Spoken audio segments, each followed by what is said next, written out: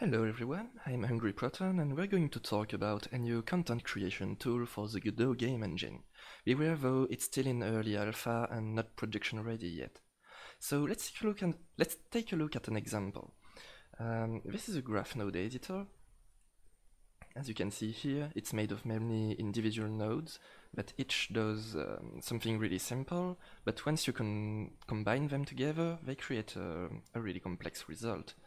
Um, so here you can see um, all the nodes that take care of the trunk generation um, and so on.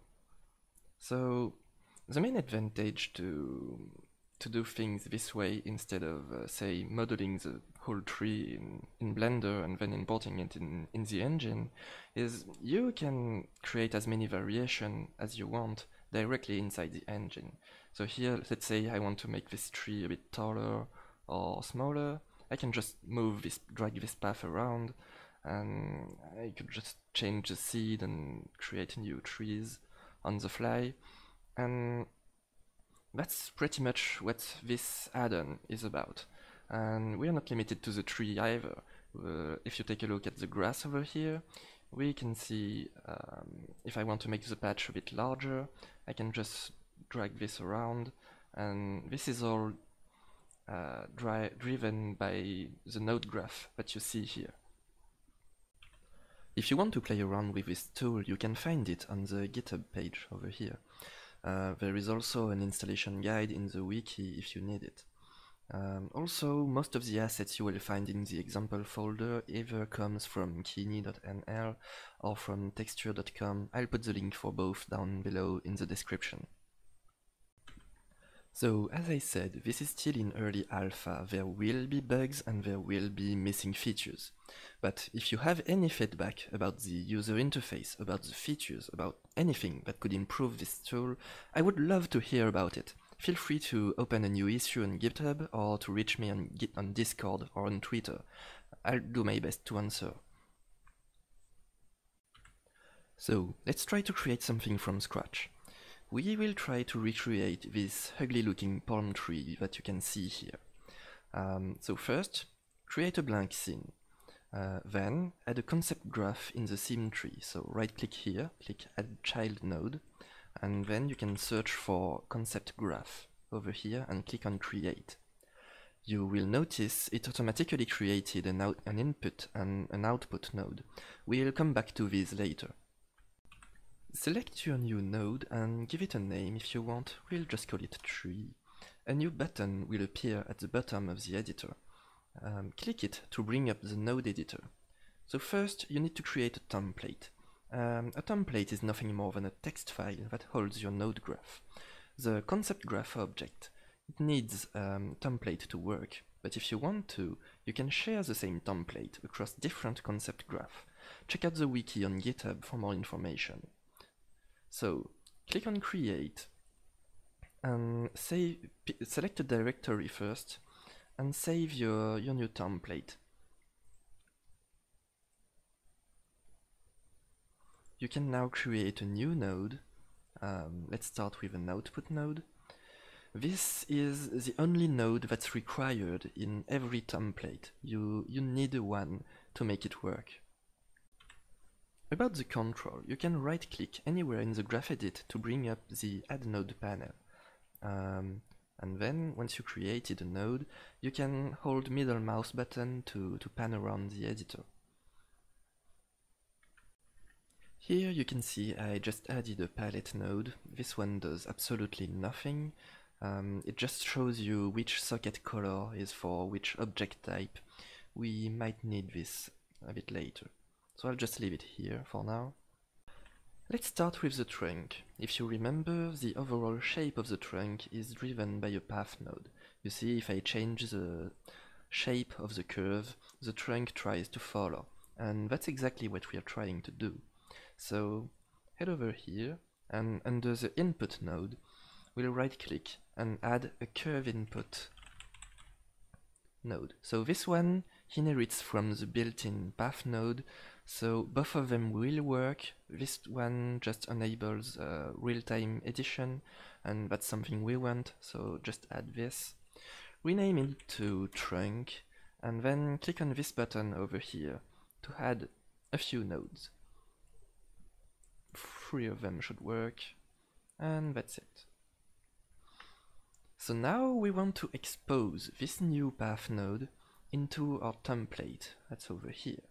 So for this, you just right click, go to curves, check inputs, and in there you will find a curve input node. So create one, and in here you type the exact same name that you entered over here. To generate a mesh from this, we can use the extrude along curve node that you can find under meshes. Connect the path over here and to make it work we need to create a cross section that we will connect to this socket.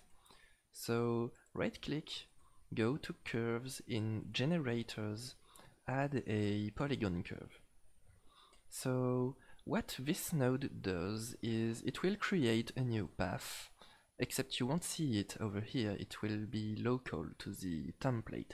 So let's see what it does all the sockets that you can see on the right side of a node are outputs and you connect them to sockets on the left side of other nodes. So here if I connect this to the output, everything that this one receive, he will put it under the output node that you can see on the same tree. So hit you hit replay, you can see it generated this.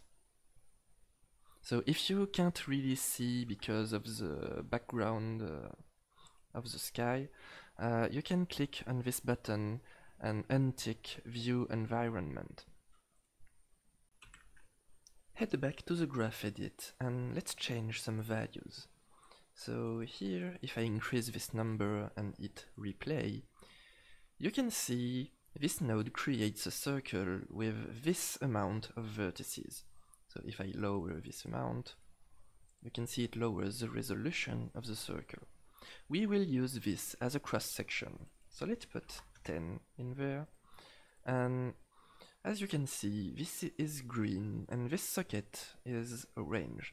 Uh, we can't plug them together because this node expects a list of points. It can't work with a curve directly. So we need to convert this object here into something we can use here. So right click, head over to curves, and in conversion you can find a few nodes that take care of this conversion. So let's select this one, the exact version, connect this socket over here and this socket over here. So now we should be able, if we plug the output over here and hit replay, as you can see it took the circle and extruded it along the path. So if I edit this, as you can see we have the basis for our trunk. If we want this mesh to be thinner, we can go in the graph editor and change the value that's over here if I use something lower and hit replay, it just works. But we could do better. We will expose this parameter to the inspector on the right, just like we would export a variable from a script. So right click here, go to the inspector properties and select a scalar property. Create a new node, name it uh, trunk radius and connect this socket to the radius uh, parameter over here. Now you'll notice a new section over here appeared and your variable is now available in the inspector. So if you change this value, you can see the result immediately. The extrude node has an option to adjust the mesh thickness along the curve. This blue socket over here expects a 2D curve input. So let's do exactly the same thing. Right click, go to inspector properties and add a curve property. So here we are going to name it curve profile and connect it to the taper input.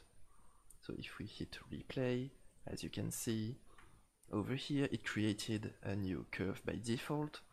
The left side of the curve uh, matches the bottom of the curve that we have over here.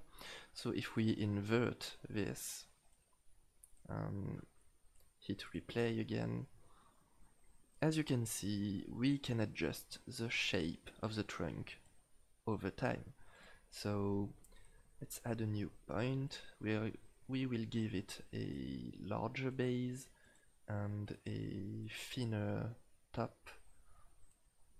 Hit replay. So as you can see, the resolution at which it extrudes the, the mesh isn't that high. So head over here and lower this number. This is actually how large the polygons are between each steps. So this is poorly named, but um, anyway. So here you can see you have a much smoother result. If I turn on um, the wireframe over here, you can see how this affects the geometry that it creates.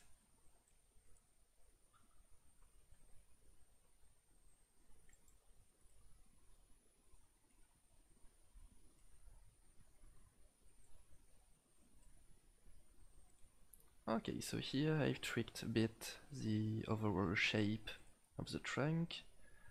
And let's turn back to normal.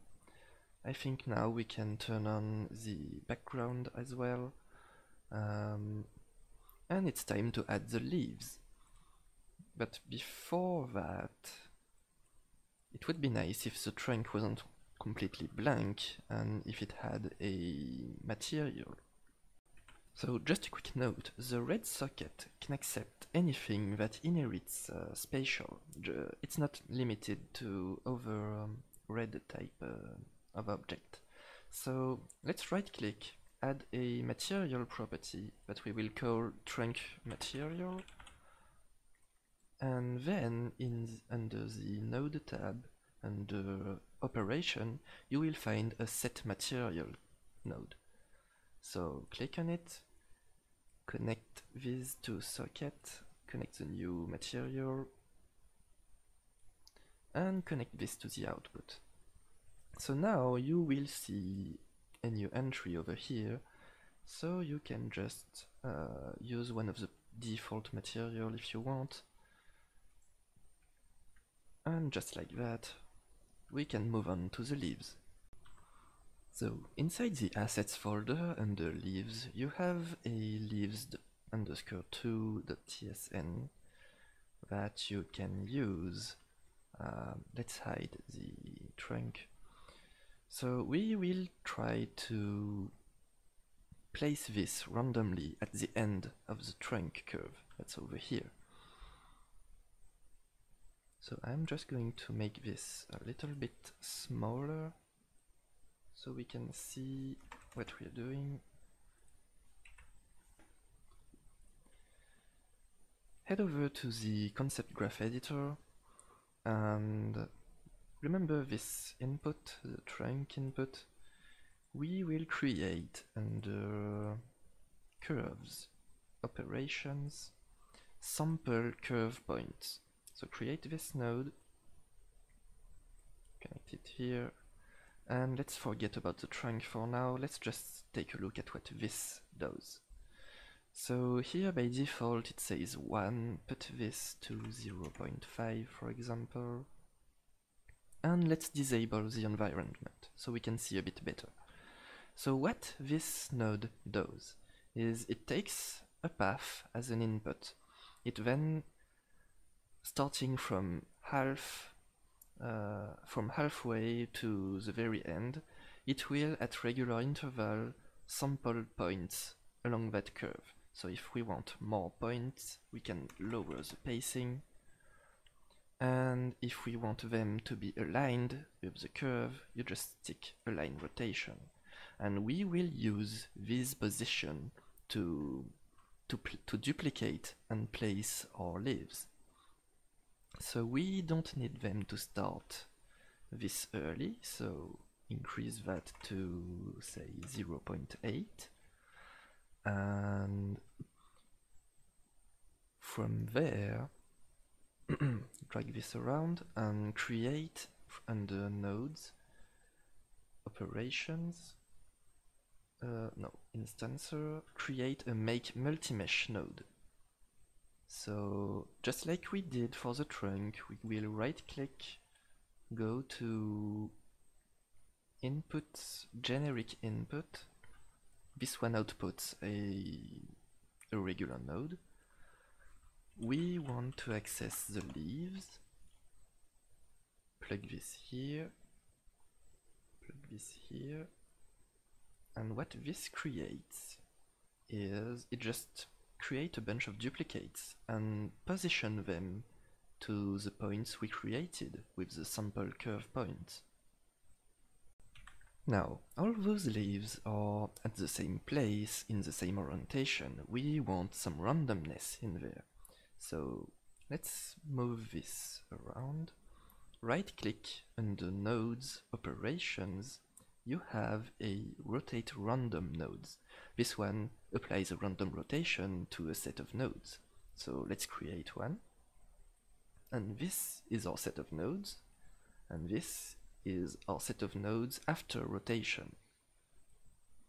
Now you need to tell this node how much they are supposed to be rotated and on which axis because right now as you can see they all have the same orientation so right click go to uh, vectors and make a new vector. So this just creates a standard Vector3. We will plug this over here. And we want them to have a random rotation. So let's under the y-axis. So this creates a a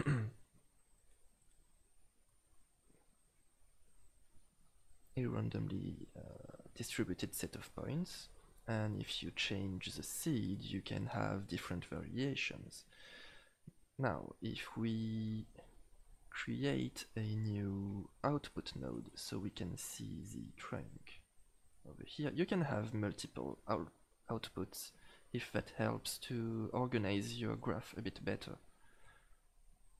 So let's turn back the environment and try to make this a bit straighter.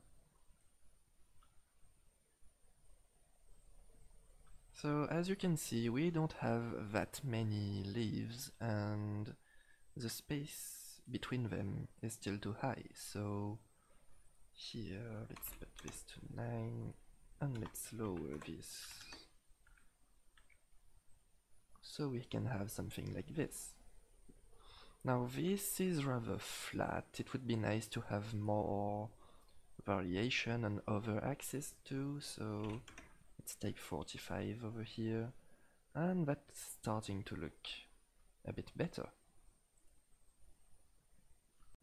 And from there, there's not much more to do. You can have some random scaling if you want, but that's pretty much it. You have a procedural palm tree. You can, if you want, expose a few more variables from the concept graph, still using the same property nodes. Um, but we got something really close to what we were trying to achieve.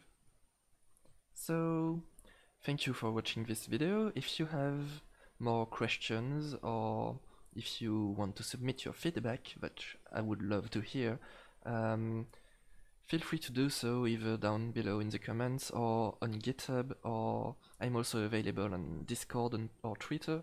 Um, and that's it.